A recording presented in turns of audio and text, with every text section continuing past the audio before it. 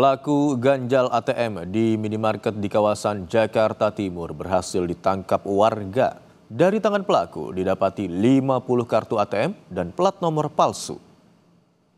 Udah. Ya, ya. Berapa, Pak? Berapa? Bukan dua ini udah. Hitung dulu, Pak. Hitung dulu ini, hitung dulu, hitung dulu. 20. Berapa? 20. Plastik 20 apa ATM Pelaku ya? ganjal kartu ATM ini kepergok warga saat aksinya diketahui korban yang berada di lokasi.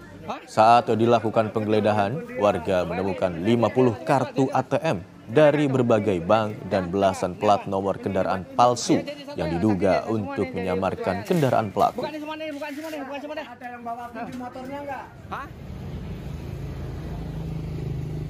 Sudah mengamankan seorang yang diduga sebagai pelaku ganjal ATM sedang dalam penanganan di Polsek Bulgadung. Mencoba memasukkan pentol korek ya, korek api itu batang korek api ke dalam lubang ATM sehingga eh, masyarakat yang akan melakukan transaksi di ATM kartunya tertelan.